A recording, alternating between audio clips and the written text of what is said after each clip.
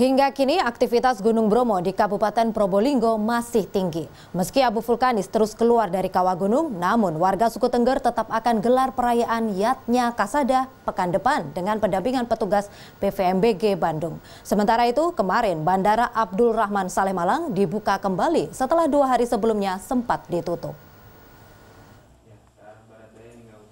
Hasil pengamatan Pusat Vulkanologi Mitigasi dan Bencana Geologi atau PVMBG Pos Pantau Gunung Bromo di Kecamatan Sukapura, Probolinggo, aktivitas Gunung Bromo masih tergolong tinggi sampai sekarang.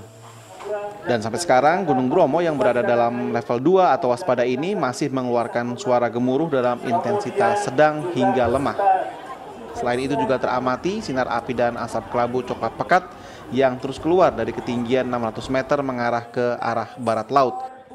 Meskipun aktivitas Bromo masih fluktuatif, warga suku Tengger tetap akan melaksanakan Hari Raya Nyadia Kasada pada tahun ini di Pura Agung Lautan Pasir dan juga melarung sesaji di kawah Gunung Bromo. Warga suku Tengger mengaku tidak khawatir dan takut dengan kondisi Gunung Bromo saat ini. Mereka menganggap fenomena Gunung Bromo adalah hal yang biasa saja. Soalnya itu sudah menjadi uh, adat dan masyarakat. Hmm. Itu berupa apa aja? Satu. Apa? Yang dilarung berupa aja?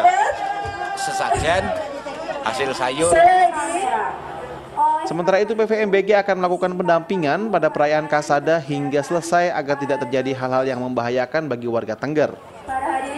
Dari tim uh, ikut memantau, memonitoring nanti akan dibagi uh, dua tim, artinya ada tim yang di lapangan ikut memantau dan tim yang di sini.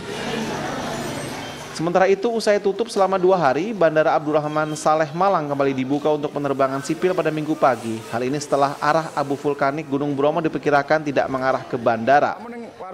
Dari 10 jadwal, 8 melakukan penerbangan normal dan mengalami keterlambatan, sementara dua lainnya dialihkan melalui Bandara Juanda Sidoarjo. Sementara sejumlah calon penumpang memilih menerima keterlambatan pesawat maskapai penerbangan jika dibandingkan untuk membatalkan jadwal penerbangan. Tim Liputan.